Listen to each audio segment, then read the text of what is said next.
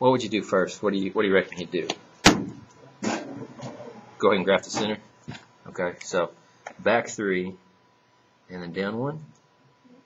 So there's the center point. Uh, negative three, comma negative one. So there's my center, and it's tangent to the y-axis. So um, there's this force field called the y-axis now, and your circle cannot be any bigger than the y-axis now. It's like it blocks it.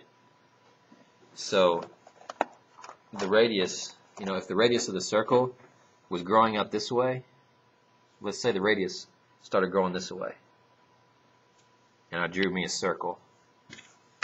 Well, what's the problem with me going all the way out that far? It go it hit the y-axis, wouldn't it? So, bam, I'd be stopped right there because there's a force field right there and I can't go any further. So there's no point in me going this way to find the the radius, right? I need to go I need to go that other way, don't I? Let me use purple.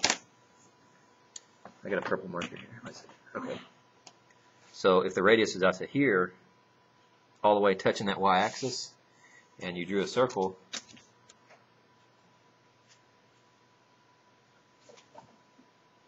that's close enough. Then this is tangent to the y-axis because it barely touches the y-axis. So what's the radius?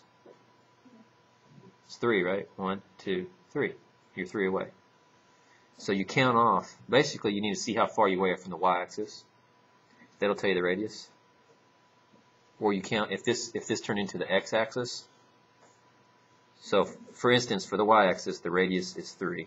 What if it was for tangent x-axis?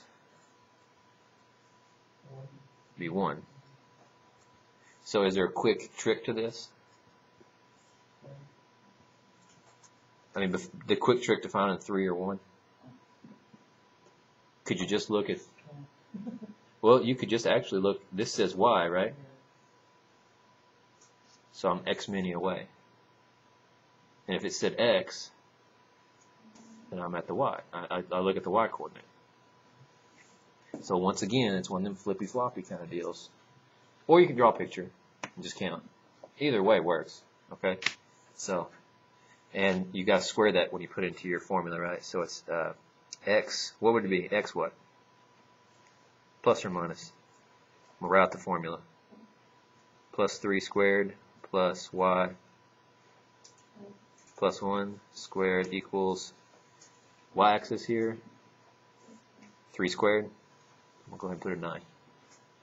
And that would be my answer to the original question of tangent to the y-axis.